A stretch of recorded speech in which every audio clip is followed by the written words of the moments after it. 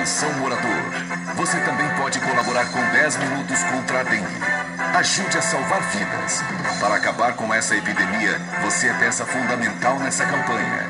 Receba bem os agentes de combate à dengue. Uma campanha da Cruz Vermelha Brasileira em parceria com a Secretaria de Saúde. Todos os voluntários estão aqui hoje andando de rua em rua.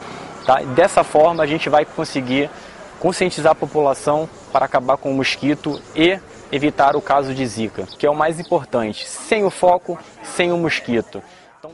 Nós temos mais de mil voluntários envolvidos no trabalho de combate ao Aedes. Mas o trabalho efetivo da Cruz Vermelha Brasileira hoje é educação, prevenção, mostrar como, como não ter focos, como combater os que já têm, educar as crianças, formação das crianças, para as grávidas, para toda a população, mas principalmente para essa população que é uma população mais vulnerável às sequelas da doença.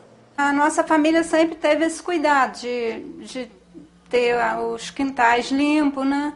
É, caixa d'água tampada. Mas sempre existe o vizinho que às vezes não deixa. Não basta só a gente olhar, né? Tem que todo mundo olhar, né?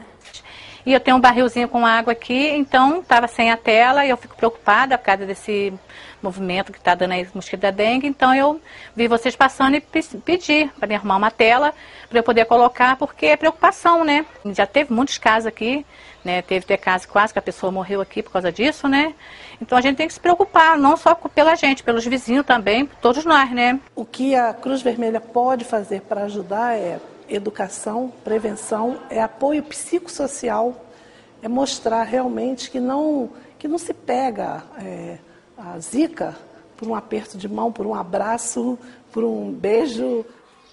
Bom, estou grávida de três meses e estou seguindo as orientações do, do, meu médico e tudo que vem sendo dito em campanhas, a própria Cruz Vermelha, é, os repórteres que eu assisto, aí estou usando repelente, evitando roupa que deixa meus braços minhas pernas à mostra, não deixando água empoçada. Quando chove, eu vou lá e varro a laje, ou meu marido vai levar a laje. Mas aí eu evito até sair de casa, porque eu tenho muito medo dessas coisas, né? Porque só depende de mim. É... A Cruz Vermelha pode sim ajudar, porque eu tiro por mim, né? Eu choro muito. Eu tenho medo, eu choro muito. E eu acredito que o pessoal, o pessoal da Cruz Vermelha, os voluntários, eles escutam as pessoas. Ele vai conversar, ele vai tentar amenizar aquela situação ali. Ele vai deixar você chorar. Vai deixar você chorar. Mas às vezes a pessoa precisa só desabafar. E isso muitas das vezes basta. A maioria das vezes isso basta.